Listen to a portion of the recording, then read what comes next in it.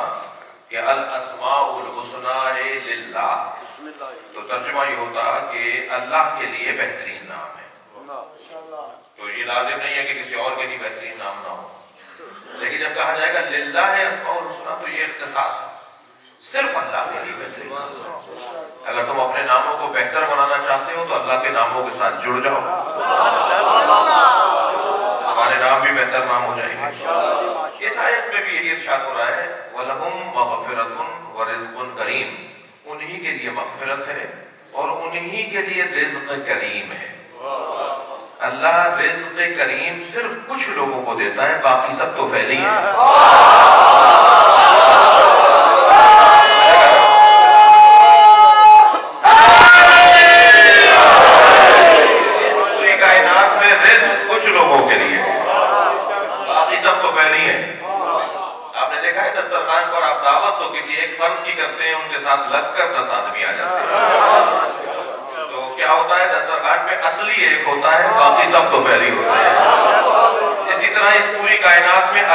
اہل بیت ہیں باقی سب تو فیصلہ محمد آیا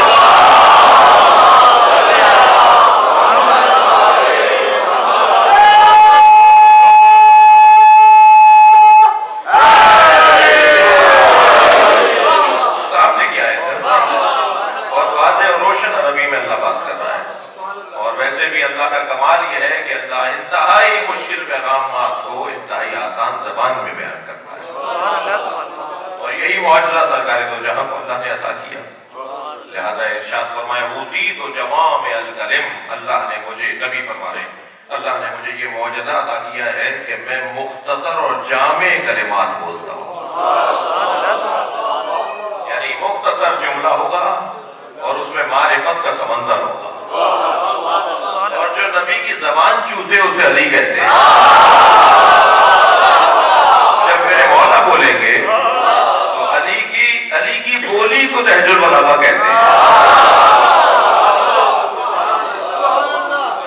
جب بولنے لگتے ہیں تو ایسے بولتے ہیں کہ ان کے آگے کوئی ٹھہر نہیں پاتا تو وہی انداز یہاں ذات کردگار ارشاد فرما رہا ہے بہت واضح ہے، سامنے کے نبی اگرچہ بہت سارے عربی کے جملے ہیں، بہت ساری احادیث کے عربی عبارتیں ہیں، بہت ساری قرآنی آیات کی عربی عبارتیں ہیں، ان کا ترجمہ ہم ذرا اجرت میں کرتے ہیں، ذرا جلدی میں کرتے ہیں۔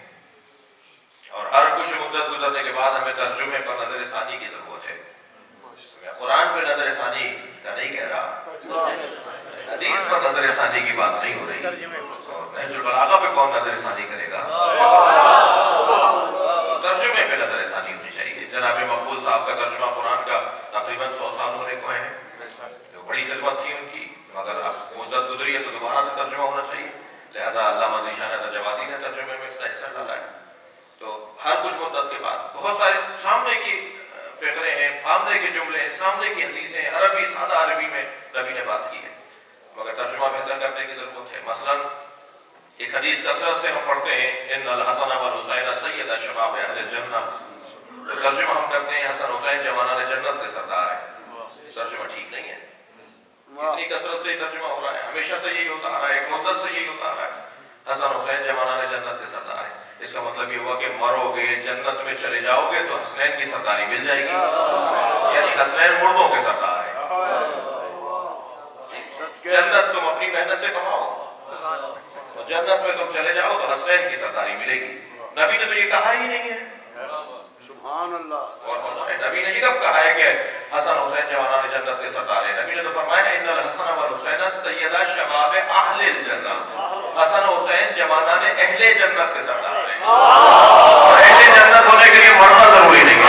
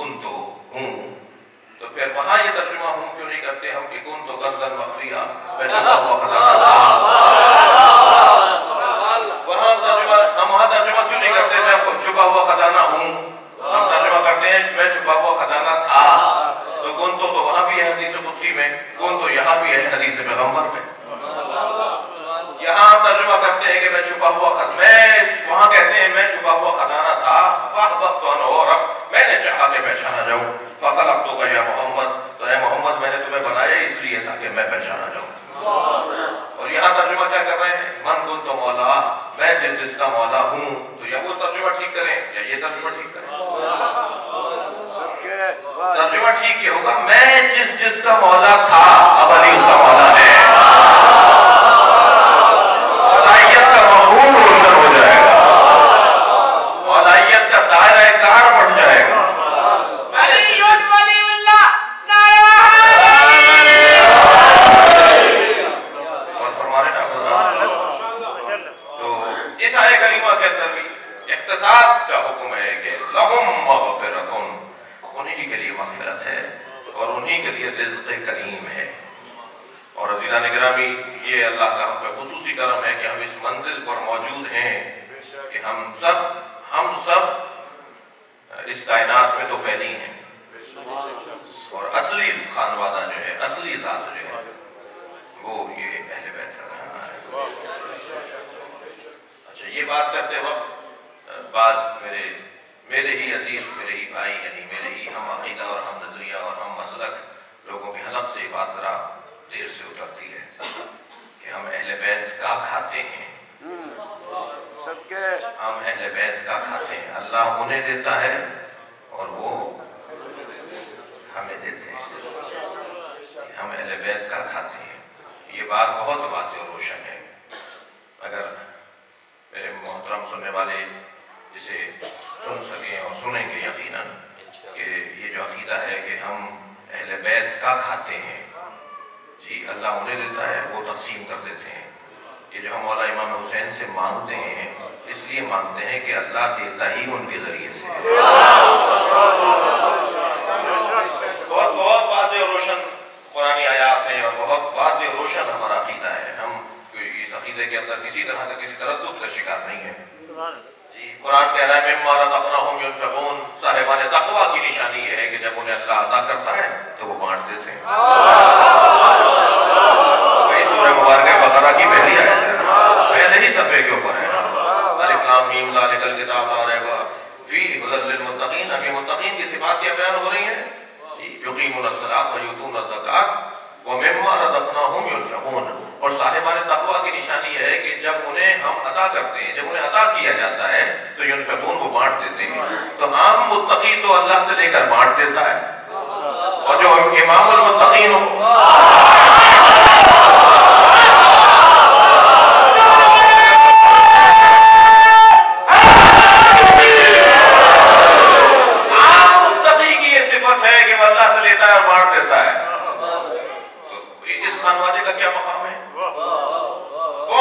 پہنچے ہیں۔ حضرت قمبر مولا علی جی کے دروازے پر۔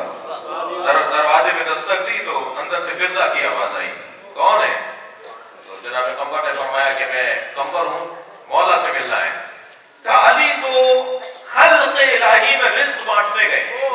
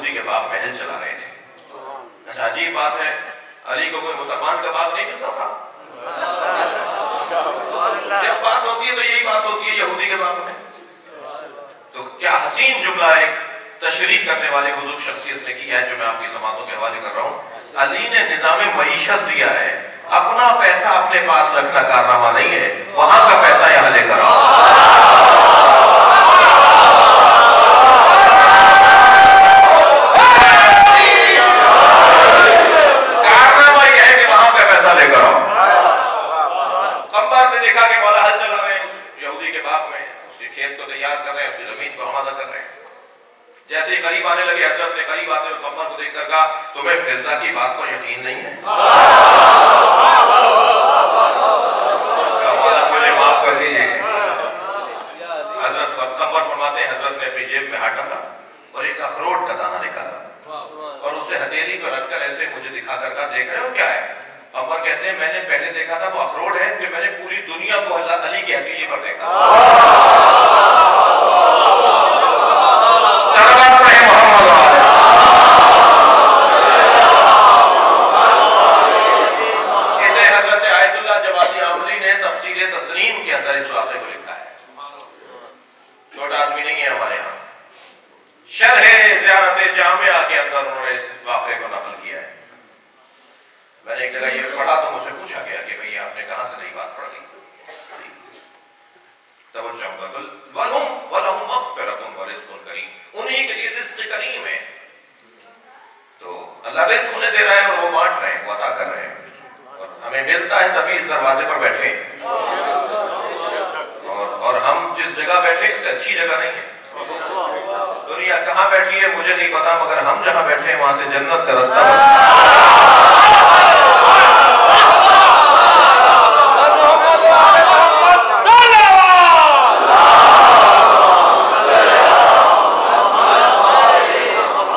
وَلَهُمْ مَغْفِرَةٌ انہی کے لیے مغفرت ہے اس آیت کا انتخاب میں نے کیوں کیا اس لیے کہ خاندان کے بزرگ کی مجلس چھلو ہے مجلس برسی ہے، مجلس ترہیم ہے۔ عزیزان گرامی، خاندان کا بڑا کیسا ہونا چاہیے یہ ابو طالب بتائیں گے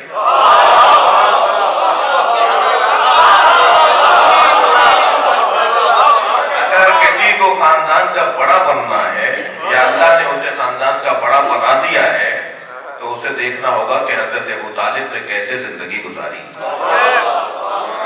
تب جا کے خاندان مضبوط ہوں گے۔ لہذا اس آیت کا میں نے انتخاب کیا۔ اب آیت کا آغاز سے ذرا ترجمہ سنیے۔ ارشاد رب العزت ہے۔ والذین آواؤ ان وہ لوگ جنہوں نے نبی کو پناہ دی۔ جنہوں نے نبی کو پناہ دی۔ سبحان اللہ۔ جنہوں نے نبی کو پناہ دی۔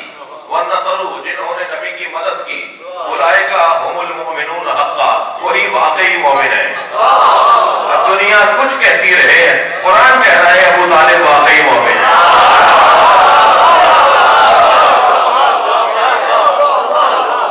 اچھا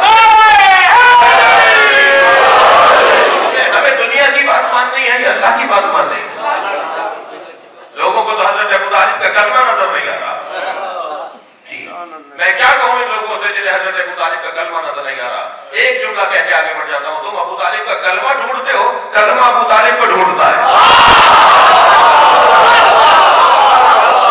بغیر ابو طالب علیہ السلام کے کلمے کا کوئی تصور ہی نہیں ابو طالب نہ ہو تو کلمہ ہی نہ پڑھا جائے اللہ اکبر میں تو عزیزان گرامی حضرت ابو طالب کے ایمان پر بات کرنا تو ہی ابو طالب سمجھتا ہوں ایمان ابو طالب پر بات کرنا حضرت ابو طالب کی توہین ہے کون بول رہا ہے ایمان ابو طالب کے اوپر کس نے بات کی ہے ایمان ابو طالب پر سبحان جن لوگوں نے تبصرے کیے انہوں نے اپنا چہرہ آئینے میں دیکھا ہے؟ جنہوں نے ایمان ابو طالب علیہ السلام پر منفی باتیں کی، انہوں نے اپنے آپ کو دیکھا ہے کہ وہ کون ہے ان کے بڑوں کے ایمان کا نہیں پتا۔ وہ حضرت ابو طالب کے ایمان کا تبصرہ نہ کریں۔ اور عزیزان گرامی، میں ایک جملہ کہتا ہوں، آگے بڑھ رہا ہوں۔ جب کسی چیز کو، جملہ اور بہتر کروں، جب کسی حق بات کو روکا جا رہا ہو جب کسی صحیح بات کو روکا جا رہا ہو تو سیاست حکمت، دانائی، ہوشیاری، سمجھداری معاملہ فہمی ہے کہ اس چیز کو اتنا ہی زیادہ کیا جائے جتنا اسے روکا جا رہا ہو۔ گزشتہ سالوں میں سندھ کی سرزمین پر وہاں علموں کا دستور بہت زیادہ ہے۔ علم بہت لگائے جاتے ہیں۔ بہرحال پنجاب سے زیادہ لگائے جاتے ہیں۔ خفا نہ ہو گیا، نہیں ہو گیا۔ جی۔ تو وہاں سندھ کی بات کرو، سندھ میں بہرحال علم زیادہ لگائے جاتے ہیں۔ تو علم کی توہین ہو رہی تھی، جگہ جگہ علم ہٹائے جا رہے تھے، علم گرائے جا رہے تھے بدتمیزی ہو رہی تھی ان کی طرف تکمیریوں کی طرف سے۔ تو سہون میں ایک بہت بڑا اجتماع ہوا۔ اور اس اجتماع کے اندر ہمیں بھی بولنے کا موقع ملا، تو وہاں ہم نے ایک حل دیا۔ اور حل یہ تھا کہ جن گھروں پر علم نہیں لگے ہوئے، وہ بھی اب لگائیں۔ ہم دیکھتے ہیں کہ ان میں زور زیادہ ہے ہم میں زور زیادہ؟ کتنا کتنا ہٹائیں گے؟ کیا کریں گے؟ مروان گزر رہا ہے، ایک جگہ سے اپنی اونٹی پر بیٹھا ہوا۔ بنی ہاشم کے جوان خوبصورت اشم صاحب اشم جوان گزر رہے ہیں ایک طرف سے گزر رہا ہے، اس طرف سے بنی ہاشم کے خوبصورت وجی کبھی ہیکر نوجوانوں کا گزر ہو رہا ہے۔ اس میں میرے معصوم امام بھی ہیں۔ ایک مرتبہ ایک مرتبہ اپنے ساتھیوں سے پوچھنے لگا، یہ اتنے خوبصورت لوگ کون ہیں؟ اتنے اچھے چہروں والے جوان کون ہیں؟ تو آواز آئی، یہ بنی ہاشم کے جوان ہیں۔ تو اپنی سواری کو موڑ لیا اس طرف۔ اتفاق سے آگے میرے امام سجاد تھے آواز دے کر کہا من اسمو تمہارا نام کیا ہے تمہارا نام کیا ہے حضرت نے فرمایا علی کہنے لگا ما اسمو اخیق تمہارے بھائی کا نام کیا ہے میرے مولا سجاد نے فرمایا علی کہا ما اسمو اخی آخر تمہارے تیسرے بھائی کا نام کیا ہے میرے مولا نے فرمایا علی تو وہ لچ کے کہنے لگا تمہارے بابا کے پاس علی علی کے علاوہ کوئی نام نہیں تھا مولا سجاد نے بے ساختہ فرمایا، میرے بابا حسین فرماتے ہیں کہ اگر اللہ مجھے سو بیٹے عطا کرتا تو میں سب کے نام علی ہوں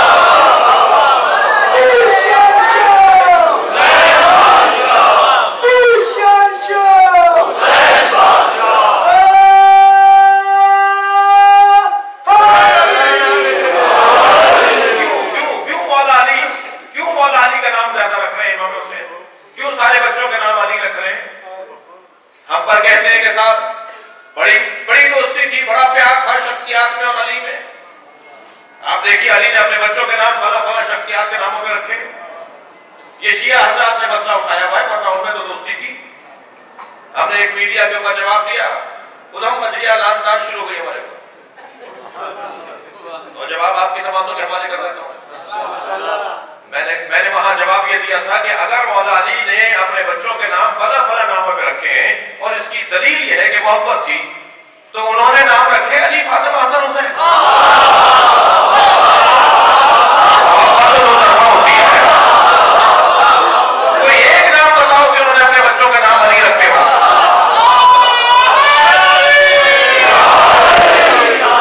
کسی ایک شخصیت کا نام بتاؤ جنہوں نے اپنے بچیوں کے نام فاطمہ رکھے ہو اسی سال تک علی نام رکھنے پر پابندی تھی اسی سال تک فاطمہ نام رکھنے پر پابندی تھی حسن حسین اگر کسی کا نام ہو جاتا تھا تو اسے اٹھا دیا جاتا تھا دربار سے اسے محفل سے نکال دیا جاتا تھا عدالت میں اس کی گواہی قبول نہیں ہوتی تھی جس کا نام علی ہوتا تھا۔ کہتے ہو پیار تھا پیار تھا تو دو طرفہ ہونا چاہیے۔ اور کیا آپ نے؟ نہیں عزیزان گرامی جس جس حق بات کو روکا جا رہا ہو بات حق ہو سچ ہو صحیح ہو اور اسے روکا جا رہا ہو تو سنت اہل بیت یہ ہے سیرت ائمہ یہ ہے کہ اسے اتنا ہی زیادہ کرو۔ اتنا اتنا ہی کرو۔ اب اگر آج مجلسوں کو روکا جا رہا آج اگر مجلسوں پر ایف آئی آر کاٹی جا رہی ہوں ابھی عمران خان ہم سے ملنے کے لیے آئے، ہم نہیں گئے، وہ ملنے آئے تھے۔ تو ہمیں بتیس ایف آئی آر کے پی کے کی، خیبر پختونخوا کی عزاداروں پر کٹنے والی بتیس ایف آئی آر ان کے سامنے رکھ دی۔ کہ بھئی آپ کی دو ہزار سولہ محرم اور سفر میں آپ کے صوبے کے اندر عزاداروں پر بتیس ایف آئی آر کٹی ہیں۔ جی پشاور میں ہنگو کو آٹھ میں ڈی آئی خان میں عزاداری کو اگر روکا جا رہا ہو تو اس کا حل کیا ہے؟ اس کا حل یہ ہے کہ جتنا روکا جا رہا ہے اتنا زیادہ کرو جی ایک ایک اور جملہ ہم نے کہا تھا اور ہم احباب نے پسند کیا، ہم آپ کی سماعتوں کے حوالے کر رہا ہوں مضمون میں میرے مضمون کی بات ہے۔ اگر ایک مجلس پر ایف آئی آر کٹے تو تین اور کیجیے۔ تو ایف آئی آر کاٹ کے بتاؤ ہم مجلس سے کر کے بتائیں عمل بولا صحیح مولا صحیح مولا صحیح کے ساتھ عمل بولا صحیح مولا صحیح مولا نعرہ حیدر جس حق بات کو روکا جا رہا ہو میری زمین لمبی نہ ہو جائے جس حق بات کو روکا جا رہا ہو سیرت اور سنت اور طریقہ اور روش اہل بیتی ہے کہ اسے اتنا ہی زیادہ کیا جائے۔ اب اب میں یہ تمید میں نے کس جملے کے لیے باندھی؟ وہ یہ کہ یہ لوگ کہتے ہیں نا کہ حضرت ابو طالب نے کلمہ نہیں پڑھا۔ تو کلمے کی تو بحث ہمیں کرنی نہیں ہے۔ بحث یہ ہونی چاہیے، بحث یہ ہونی چاہیے کہ مقام ابو طالب کیا ہے۔ ایمان ابو طالب کو تو بات نہیں ہوگی، مقام ابو طالب کیا ہے۔ اب اگر اپنی کوئی پچیس تیس کتابوں کے مطالعے کے بعد، میں نے حضرت ابو طالب پر پچیس تیس کتابوں کا مطالعہ کیا ہے۔ ان ساری کتابوں کے مطالعے کے بعد اگر مجھ سے کوئی کہے کہ ذاکر اہل بیت، ایک جملے میں حضرت ابو طالب کے لیے کوئی خلاصتاً جملہ کہو ایک جملے میں کوئی بات کرو تو میں حضرت ابو طالب کے بارے میں ایک جملے میں یہ کہتا ہوں کہ ابو طالب کو اگر ڈھونڈنا ہے تو ابو طالب صفے انبیاء میں ملتے ہیں۔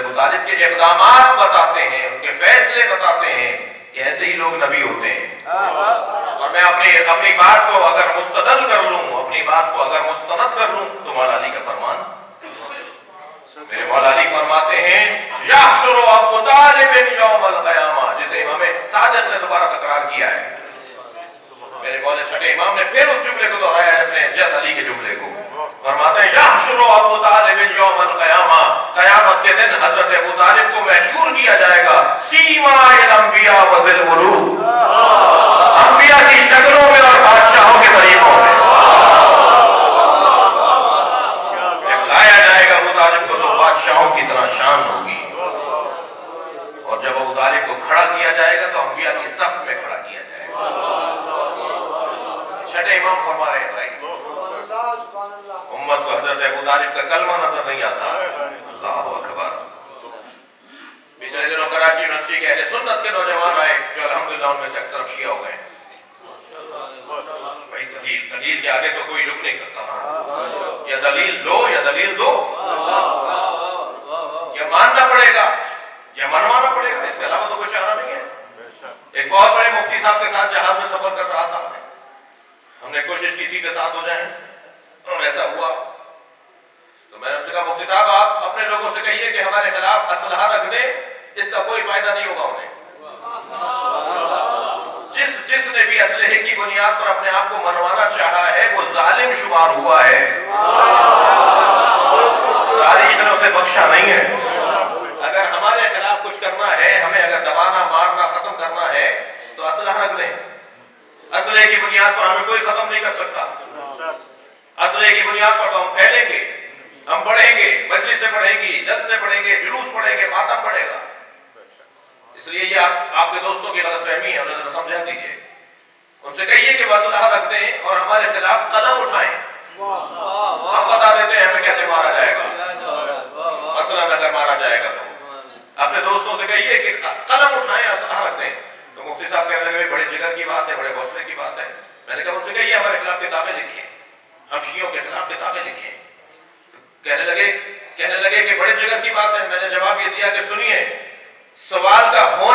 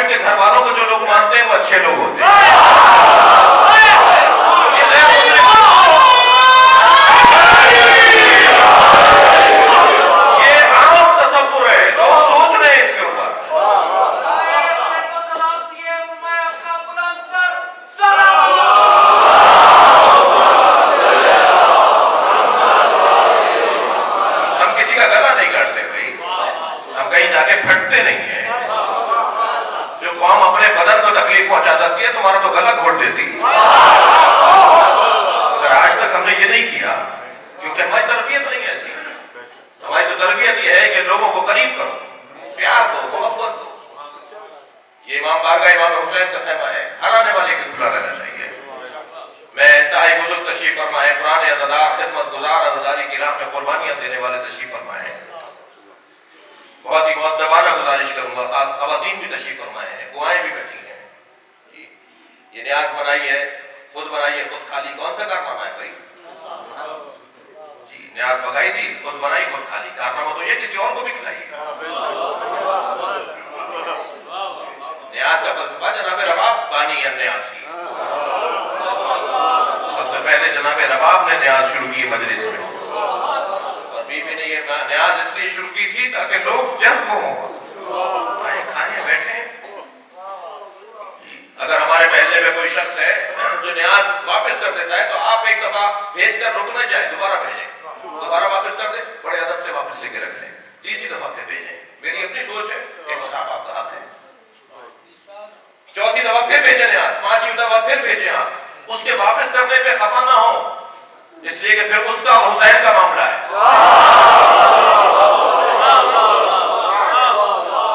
ہم تو نوکر ہیں نا بھائی۔ شیعہ امام حسین کی عزاداری کے مالک نہیں ہیں۔ شیعہ امام حسین کی عزاداری کے مالک نہیں ہیں۔ شیعہ امام حسین کی عزاداری کے نوکر ہیں۔ اور نوکروں کو اپنی اوقات میں رہنا چاہیے۔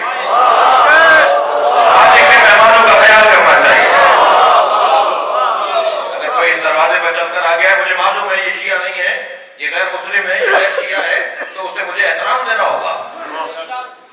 جی تو پہنچائیے۔ حتیٰ ہندو اور غیر مسلموں کو بھی نیاز پہنچائیے۔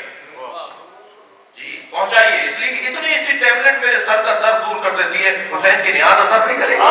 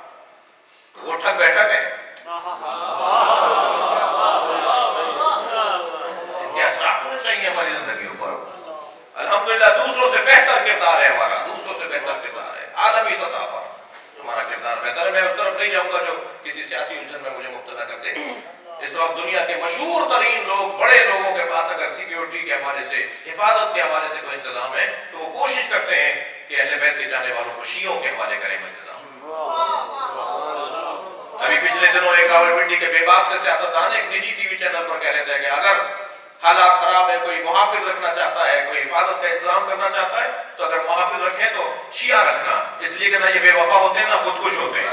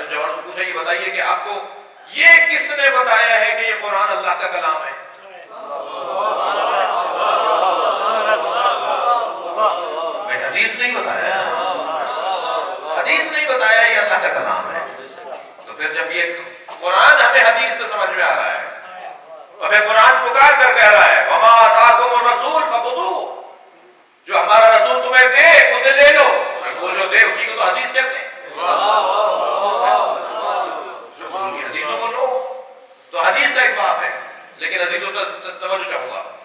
ان سے ایک الجھن پر ہم نے ایک ان کو ان کی الجھن دور کی اور الجھن یہ تھی کہ اگر کوئی حدیث قرآن سے ٹکرا رہی ہو، اگر کوئی حدیث قرآن سے ٹکرا رہی ہو تو ہمارے ائمہ نے، ہمارے پیشواؤں نے ہمیں درس یہ دیا ہے فضر ہو الجدا تو اس حدیث کو دیوار پہ مار دو، وہ حدیث ہی نہیں ہے۔ کسی نے تم سے کہہ دیا ہے کہ حدیث ہے، حدیث ہو ہی نہیں سکتی وہ جو قرآن سے ٹکرا ہے۔ قرآن سے ہم آہنگ ہونا ضروری ہے حدیث کا۔ اگر حدیث قرآن سے ٹکرا رہی ہے تو حدیث نہیں ہے۔ تو اگر آپ مسلمانوں کی موت پر ترین صحیح کے اندر توجہ ہوں گا ایک حدیث موجود ہو کہ حضرت ابو طالب معذ اللہ جہنم کے فلا طبقے میں۔ تو ان سے یہ جواب دیا جائے کہ اگر تمہیں یہ حدیث مل گئی ہے کہ حضرت ابو طالب معاذ اللہ فلاں جگہ پر ہیں، تو تمہیں قرآن کی آیت نہیں ملی۔ یہ حدیث قرآن سے ٹکرا رہی ہے۔ قرآن کہہ رہا ہے کہ جس نے میرے نبی کو پناہ دی، وہ وہی واقعی مومن ہے سلام پڑھے محمد وعلا۔ اور انہی کے لیے مغفرت ہے لہم مغفرت انہی کے لیے مغفرت ہے اور آپ کہہ رہے ہیں معاذ اللہ جہنم کے فلا طبقے میں کیوں کیوں بھائی وہاں ہے کلمہ نہیں پڑھا تم نے سنا یا نہیں پڑھا؟ تم کیسے کہہ رہے ہو؟ نبی نے کہا ہے کہ میرے چچا نے کلمہ نہیں پڑھا۔ کہاں ملا ہے تمہیں یہ کہ نبی نے کلمہ نہیں پڑھا؟ سرکار نے کلمہ نہیں پڑھا حضرت ابو طالب نے کلمہ نہیں پڑھا۔ کہاں ملا ہے؟ تم نے سنا نہیں۔ اچھا تم نے نہیں سنا تو تم ہو کون؟ تمہارا تم ہو کون کہ جو تمہیں تمہارا سننا معیار بن جائے؟ جی تمہارا یہ پرانا انسانوں کا عیب ہے۔ یہ پرانی کمزوری ہے۔ انسان کی کہ اپنا عیب کسی اور پہ ڈالتا ہے۔ چالیس سال کے بعد ہمارے نبی کبھی نہیں ہوئے، تمہیں آنے میں چالیس سال دیر لگی ہے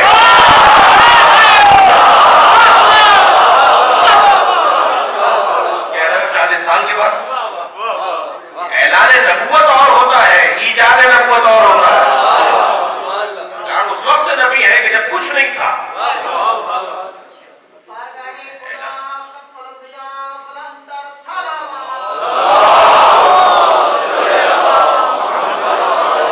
حضرت امیر مومنین نے تو کبھی نہیں کہا کہ سرکار نے کلمہ نہیں پڑھا نبی نے تو کبھی نہیں کہا کہ کلمہ نہیں پڑھا ایک اور تحقیق کا موضوع دے دیتا ہوں اپنے نوجوانوں کو حضرت ابو بکر، حضرت عمر، حضرت عثمان ان تینوں کے دور میں حضرت ابو طالب کے ایمان پر کوئی تبصرہ نہیں ہوا۔ تحقیق کے بعد بات کر رہا ہوں، مطالعے کے بعد بات کر رہا ہوں۔ ان پہلے تینوں دوروں میں حضرت ابو طالب کے ایمان پر کوئی تبصرہ نہیں کیا گیا۔ کسی نے منفی بات نہیں کی، ابو طالب علیہ السلام کے لیے۔ یہ شام کے کارخانے سے حدیث سازی کا کارخانہ۔ جو شام میں حدیث سازی کا کارخانہ لگا تھا، اس کی جعلی حدیثیں ہیں۔ وہاں سے شروع ہوا یہ سلسلہ۔ پہلی ان تین شخصیات نے تو اگر کہا بھی ہے تو حضرت ابو طالب کے ایمان پر بات کی ہے۔ حضرت ابو بکر فرماتے ہیں کہ علی کے بابا ابو طالب کا ایمان میرے بابا ابو قحافہ کے ایمان سے بہتر ہے۔ یہ اگر جملہ ملتا ہے تو یہ جملہ ملتا ہے۔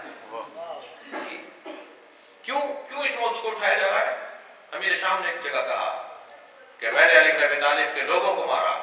قتل کیا مگر علی کو شکست نہیں دے پایا۔ اب میں علی سے سرد جنگ یہ میری جملے ہیں۔ سرد جنگ کی اصطلاح بات کی اصطلاح ہے میں اب علی سے سرد جنگ کا آغاز کر رہا ہوں۔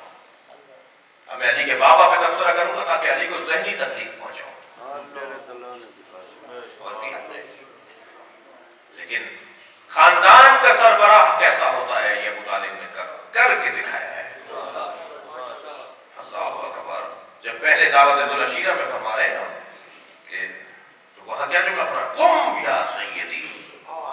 وبلغ ما تحب وترضى اے میرے سید، کھڑے ہو کر وہی بات پہنچاؤ جو تم چاہتے ہو۔ بہت جگر کی بات ہے کہ اپنے بچے کو کوئی سید بولے۔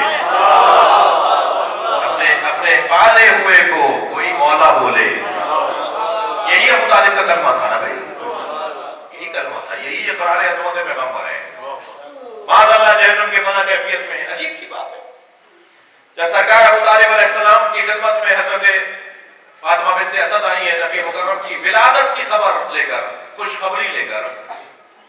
اچھا یہ خوشخبری ہر ایک زوجہ، ہر ایک بیوی اپنے اپنے شوہروں کو، اپنے اپنے گھر کے بڑوں کو سنا رہی تھی، جو اس خاندان کی بڑی تھی۔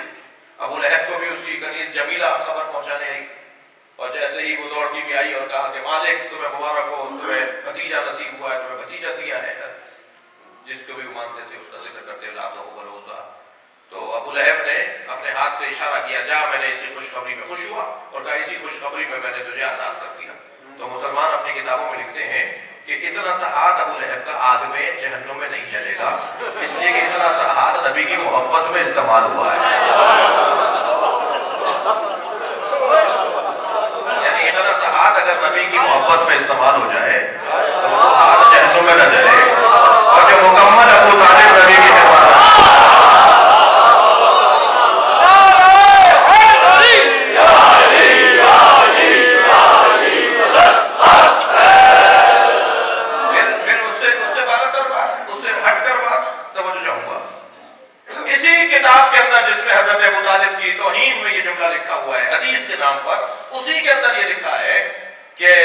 فرماتے ہیں، انا وکافر الیتیم کا ہاتین فی الجنہ میں اور یتیم پالنے والا جنت میں ان دو گلیوں کی طرح ساتھ ساتھ رہیں گے۔ یتیم خانوں کی دیواروں پہ یہ حدیث لکھتے ہیں تاکہ کچھ مل جائے۔ یہ تو ہو جائے۔ کہتے ہیں میں اور یتیم پالنے والا نبی فرما رہے ہیں۔ اسی کتاب میں میں اور یتیم پالنے والا ان دو گلیوں کی طرح جیسی دو گلیاں ساتھ ساتھ ہیں، ایسے ان دو گلیوں کی طرح جنت میں ساتھ رہیں گے۔ تو جو امت کا یتیم پالے، وہ تو نبی کے ساتھ رہے۔ اور جو خود محمد مصطفیٰ کو پالے۔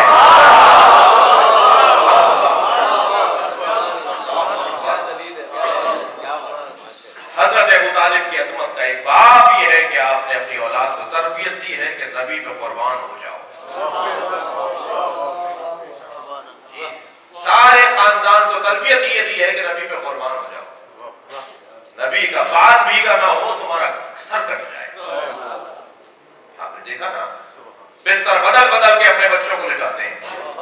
تینوں بھائیوں کی بچپن سے مشق ہے کہ ہم قربان ہونا چاہتے ہیں۔ جی، عقیل، جعفر، علی، حضرت طالب تو چھوٹے سے گم ہو گئے تھے، ان کا تاریخ میں کچھ نہیں ملتا، سوائے اس کے بچپنے میں بڑے بیٹے تھے، بڑے بھائی تھے۔ لیکن ان تینوں بھائیوں نے مشق ہی یہ کی ہے کہ کسی طرح ہم نبی پہ قربان ہو جائیں۔ اور جب نبی نے فرمایا علی تو میرے بستر پہ سو جاؤ، تو آپ نے ایک سوال ہی اس لیے کیا تھا کہ آپ میرے سونے سے آپ کی جان بچے گی؟ اور فوراً پیشانی سجدے میں رکھ کر وہ جو مشق کرتے آ رہے تھے نا، اس کا شکریہ ادا کیا۔ تھا موقع مل گیا ہے مجھے قربان ہونے کا؟ پورا خاندان عقیل آتے تھے تو نبی کھڑے ہو جاتے تھے۔ کسی نے پوچھا، یا رسول اللہ، یہ تو آپ کے چھوٹے بھائی ہیں۔ یہ آپ سے رشتے میں بھی چھوٹے ہیں، آپ سے عمر میں بھی چھوٹے ہیں۔ آپ کے مقام و منزلت کے حوالے سے بھی آپ عظیم ہیں۔ فرمانے لگے، اس کا سارا خاندان میرے حسین پہ قربان ہو جائے۔ بتیس بیٹے اور پوتے شہید ہوئے۔ بتیس۔ ہم جلدی میں کہتے ہیں ربا روی میں کہتے ہیں کہ کربلا میں بنی ہاشم شہید ہوئے کربلا میں بنی ہاشم شہید نہیں ہوئے۔ کربلا میں شہدائے بنی ہاشم نہیں ہے شہدائے بنی ابو طالب ہے اس لیے کہ جب ہم بنی ہاشم کہیں گے نا، تو حضرت عبد حضرت ہاشم کے دس بیٹے۔ ان میں ایک عبد المطلب پھر عبد المطلب کے دس بیٹے۔ ان میں ایک ابو طالب۔ جب ہم کہتے ہیں شہدائے بنی ہاشم، تو کتنا بڑا خاندان ہو جاتا ہے؟ بنی ہاشم شہید نہیں ہوئے، بنی ابو طالب۔ صرف حضرت ابو طالب کی اولاد۔ صرف حضرت ابو طالب کی اولاد۔ اٹھارہ اٹھارہ جوانان بنی ہاشم کربلا میں شہید نہیں ہوئے۔ یہ وہ اصطلاحیں ہیں جو ہماری مجلس میں بیان ہوتی ہیں، جن کو دوبارہ سے دیکھنے کی ضرورت ہے۔ اٹھارہ جوانان بنی ہاشم کربلا میں شہید نہیں ہوئے، اٹھاون شہید ہوئے۔ اٹھاون بنی ابو طالب شہید ہوئے۔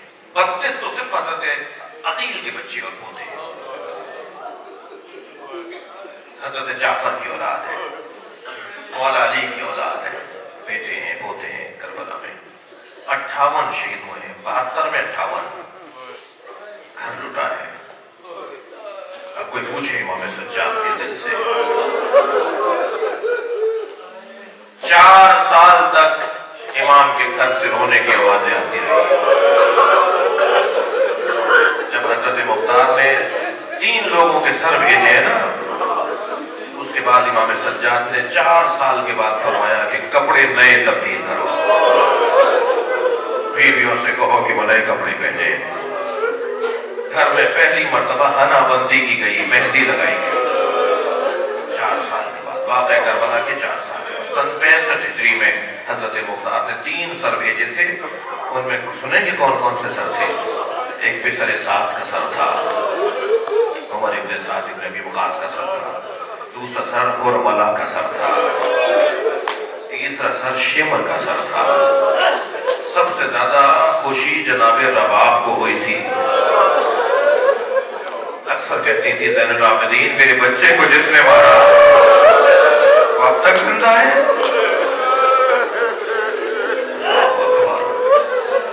سخت مرنا ہے۔ آپ کی آوازیں ہیں۔ کسی کم میں نہ سوائے میں میں رونے امام سجاد کی چار سال تک اس گھر میں رونے کی آوازیں آتی رہی۔ مروان ابن حکم اپنی سواری میں بیٹھا جا رہا ہے۔ بنی ہاشم کی گلی سے گزرا محلے سے۔ اس گھر سے چیخ کے رونے کی، چیخنے کے رونے کی آواز آ رہی تھی۔ اور کوئی بی بی ایسے رو رہی تھی کہ جس کی اونٹنی نے سو گرا دیا۔ بکھر گئی، وہ سواری بکھر گئی اور اس سواری نے اسے گرا دیا۔ تو لوگوں سے پوچھنے لگا، یہ کون عورت ہے جو رو رہی ہے؟ تو ایک گزرتے ہوئے شخص نے کہا، یہ عباس کی ماں ام البنین ہے۔ تو کہنے لگا، حق ہے اس کا کہ ایسے ہی روئے۔ کے چار جوان بیٹے ہو عباس جیسا جس کا بیٹا ہو۔ روزانہ جناب ام المدین جاتی ہیں جنت البقی میں، اپنی انگوش سے شہادت سے چار قبروں کے نشان بناتی ہیں۔ اور ان پہ چاروں بیٹوں کے نام لکھ کر کہتی ہیں، لا تدعو ام المدین اے لوگوں، مجھے ام المدین مت کہا۔ اجرکم اللہ اجرکم اللہ۔ ام المدین تو بیٹوں کی ماں کو کہتے ہیں میرے بیٹے کہاں رہ گئے میں جن کی ماں ہوں یہ تو وہ بیٹے نہیں ہیں بڑا سخت بڑا سخت مرحلہ ہے عزتاروں امام سجاد کے سامنے جب پانی آتا تھا، تو امام روتے تھے۔ قصائی جب دیکھتا تھا نا، امام آ رہے ہیں تو گوشت پہ کپڑا ڈال دیتا تھا۔ خریدار کھڑے ہوئے پوچھتے تھے تم نے گوشت چھپا کیوں دیا؟ تو کہتے تھے، وہ دیکھو علی ابن حسین آ رہے ہیں۔ وہ یہاں کھڑے ہو کر روئیں گے۔ جب کسی نے پوچھا، مولا، آپ گوشت کی دکان پہ کھڑے ہو کر روتے؟ ہیں فرمانے لگے، مجھے کربلا میں بکھرے ہوئے گوشت کے ٹکڑے یاد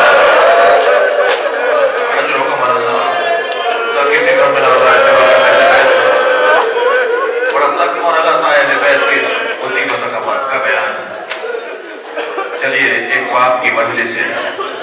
ان بیٹوں کو غصہ بھی دیجیے تسلی بھی دیجیے کربلا میں سلام ہو، امام سجاد پر۔ جب آئے ہیں اپنے بابا کی لاشے پر۔ ہزاروں بڑا سخت مرحلہ ہے۔ امام نے اپنے بابا کا لاشا دیکھا لاشا مزمحل ہو چکا تھا۔ سلام اس بہن پر بھی ہو، جس نے بھائی کے جنازے پہ گھوڑے دوڑتے ہوئے دیکھے جناب فضا جناب فضا دوڑی ہوئی آئی۔ آقا زادی زینب قیامت آنے والی ہے۔ جناب فضا سے بی بی زینب نے فرمایا اماں کیا بھائی کی شہادت کے بعد تو قیامت باقی رہ گئی ہے؟ فرمایا ہاں گھوڑوں کی نال بندیاں کی جا رہی ہیں۔ کہا اماں کیا ہوگا؟ کا اعلان کیا گیا ہے کہ حسین کے بدن پہ گھوڑے دوڑ رہے ہیں۔